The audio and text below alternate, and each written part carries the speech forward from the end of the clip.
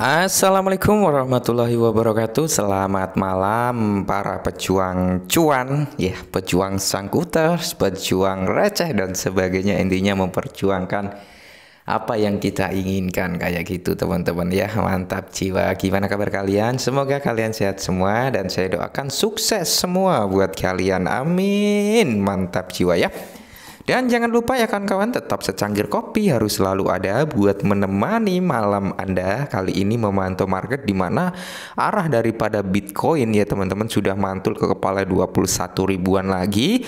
Di mana tadi ya sempat ke 20.100 ya teman-teman. Seperti itu hampir ke 19.000 tapi mantul lagi nyampe ke 21 ribuan teman-teman. Seperti itu untuk saat ini ya dan kali ini kita akan membahas perihal token-token yang menurut kalian lah, yang menurut kalian potensial kayak gitu ya, mempersiapkan mungkin amunisi buat Zero nanti setelah pengumuman The Fed ya, sembari kita menunggu, kita pantau token-token yang menurut kalian potensial kayak gitu ya.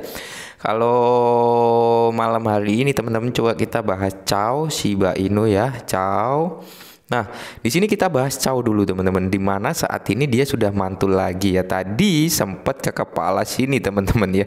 Sempat ke kepala 6499 sekarang mantul lagi kepala 7245 ya teman-teman. Untuk penurunan daripada Chow dari ATH-nya yang tertinggi ya kemarin sempat beberapa hari yang lalu ya satu minggu lebih lah 10 harian yang lalu ya sempat ke 18600 dengan 50 di belakang koma ya teman-teman. 1 2 3 ya 50 di belakang koma.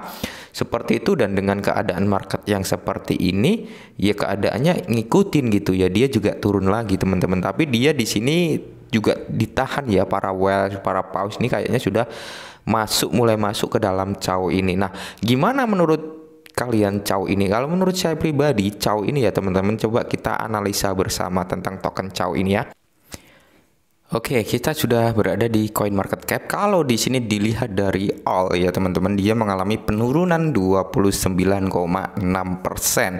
Dan kalau kita lihat dari term frame 24 jam terakhir dia mengalami kenaikan 7,76% teman-teman di mana di tengah kekacauan market yang hancur lebur seperti ini ya beberapa koin token itu sudah ada yang ditahan gitu ya mungkin para whales para pemain-pemain itu juga ngebeli harga-harga token yang mungkin menurut mereka itu sudah termasuk murah sekali kayak gitu teman-teman. Nah, jadi di sini untuk CA juga harus diwaspadai juga teman-teman ya dia berdiri di jaringan Ethereum dan supply-nya yaitu 666 triliun ya teman-teman. Jadi memang di sini kalau untuk Chow ini memang lagi booming di kalangan orang-orang bule, tapi kita perlu waspadai bahwasanya di sini juga untuk websitenya nggak ada, sosial medianya nggak ada gitu teman-teman. Jadi ya kalau menurut saya pribadi sih, kalau ingin masuk itu teman-teman nggak usah terlalu effort, nggak usah terlalu banyak-banyak gitu. Ya 10 dolar kah 15 dolar itu sudah cukup kalau menurut saya ya untuk tambah-tambah ke portofolio kita gitu teman-teman. di mana untuk segi holdernya meningkat ya teman-teman. Segi holdernya terakhir kita buat video itu sekitar di 9 ribuan berapa? 9.900an kayaknya teman-teman. Dan sekarang sudah 11.100an seperti itu ya. Untuk segi holdernya meningkat. Nah ini supply-nya ini mantap jiwa juga ya. 666 triliun ya. Lebih sedikit daripada pasokan Shiba Inu yang di mana ini adalah apa ya pemburu Shiba Inu seperti itu teman-teman. Nah di sini kita lihat dari segi holdernya juga ya. Nah kalian bisa lihat di sini ini uniknya ini ya teman-teman dia sudah listing di beberapa exchange termasuk Tier One juga gitu teman-teman. Jadi ya perlu perlu dipelajari lah. Tapi intinya ya teman-teman kalau menurut saya pribadi memiliki potensi tapi masih agak rancu gitu. Karena di sini kalau kita bilang ini bagus ya kalau kita lihat dari chartnya chartnya sih sehat gitu. Teman-teman chart daripada si apa chow token ini sehat gitu ya untuk chartnya. Cuman di sini kendalanya kita nggak bisa ngelihat ini websitenya seperti apa ini tokennya mau diapain kayak gitu teman-teman. Jadi ya kita juga perlu antisipasi hal tersebut gitu teman-teman. Jadi kalau menurut saya pribadi kalau kalian ingin masuk ke caw ini ya teman-teman ya bisa menggunakan uang yang benar-benar siap kehilangan gitu teman-teman. Dalam artian jika benar-benar ini token ini bagus ke depannya gitu ya kita akan mendapatkan cuan di situ. Tapi jika nasibnya jelek ya otomatis kita udah mempersiapkan dari awal kan. Memang uang yang akan dimasukkan ke sini yang benar-benar siap hilang kayak gitu teman-temannya jadi intinya seperti itu untuk caw ini ya. Nah, kalau saya pribadi teman-teman ya kalau saya pribadi saya sudah masuk di caw teman-teman. Sudah masuk di caw sekitar 20 dolaran ya.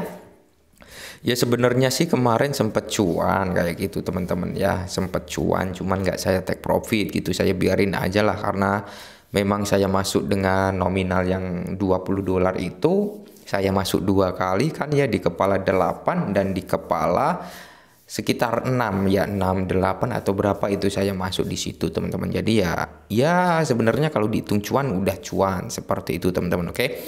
Nah kalau Shiba Inu sendiri teman-teman kalau Shiba Inu ya kalau kita cek Shiba Inu mana kita masuk ke sini cari Shiba ya. Sembari kita menunggu pengumuman The Fed kan kita bisa mantau-mantau token yang mungkin ingin kalian tambah amunisi atau apa kalian pantau di situ ya token-token yang menurut kalian potensial entah kalian mau menambah Shiba Inu atau kalian ingin membeli Chow atau kalian ingin membeli Baby Dogecoin lagi atau Brace dan sebagainya kayak gitu. Kalian pantau di situ sambil kita menunggu hasil pengumuman The Fed nanti malam jam 2 seperti itu teman-teman. Jadi intinya siapkan kopi yang banyak itu sambil menunggu kalau kalian ingin menunggu. Seperti itu. Nah kalau kita lihat dari Shiba Inu teman-teman Shiba Inu ini ha, Harga terendahnya per hari ini tadi sempat di 7606 ya teman-teman 7606 seperti itu untuk harga daripada Shiba Inu ya.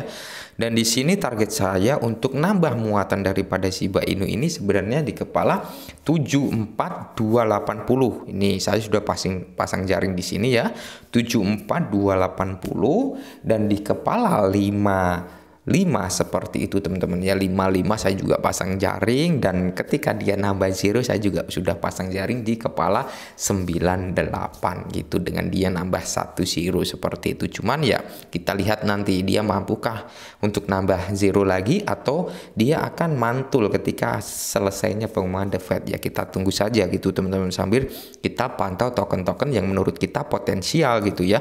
Dan kalau kita lihat brace ya brace Mana bris? Aduh. Nah, ini bris. Bris ini sudah apa ya? Sudah termasuk harganya miring sekali gitu teman-teman. Di mana? Dari dia kill zero ya 5 zero di belakang koma sekarang nambah zero di kepala tiga lagi. Penurunannya juga cukup tajam untuk si bris ini ya.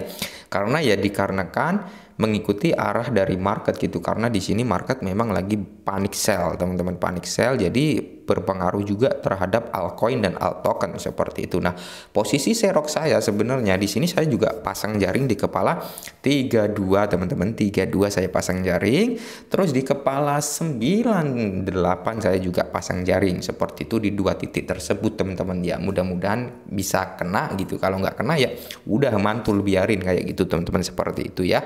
Oke, untuk si bris ini titiknya di situ kalau saya pribadi nyeroknya teman-teman ya bisa kalian coba gitu ya kalau kalian ingin membeli seperti itu ya sebenarnya banyak sekali sih token-token ya saya juga ngehold raca juga ya. Raca ini saya juga minus teman-teman karena kemarin saya beli itu di kepala 4 ya. 3-0 di kepala 4 gitu sekarang sudah turun di kepala 3,34an seperti itu. Jadi saya masih minus di raca. Dan di sini saya tadi sempat nambah muatan juga untuk raca walaupun gak terlalu banyak ya teman-teman seperti itu. Oke? okay? Nah, jadi menurut kalian token-token yang kalian rasa potensial ya udah kalian pantau saja sambil kita nunggu dengan keadaan the Fed nanti gitu teman-teman. Jadi ya gimana kalau kalian mantau-mantau ndak kalian ingin nambah muatan Cardano atau Ethereum dan Avalanche atau Dogecoin banyak sekali ya yang token-token top 10 gitu. Mungkin kalian mau share atau token-token micin yang sekiranya kalian menurut kalian mempunyai potensial gitu teman-teman. Karena memang harga saat ini ditentukan nanti ketika ada pengumuman The Fed nanti kayaknya itu juga akan berpengaruh terhadap market cryptocurrency yang cukup signifikan gitu teman-teman ya. Nah mungkin ini dulu perihal keadaan market dan mungkin sambil memantau token-token yang menurut kalian ingin ditambah muatan kayak gitu teman-teman dan semoga profit dan semoga cuan seperti itu intinya ya. Oke mungkin ini dulu dan salam cuan.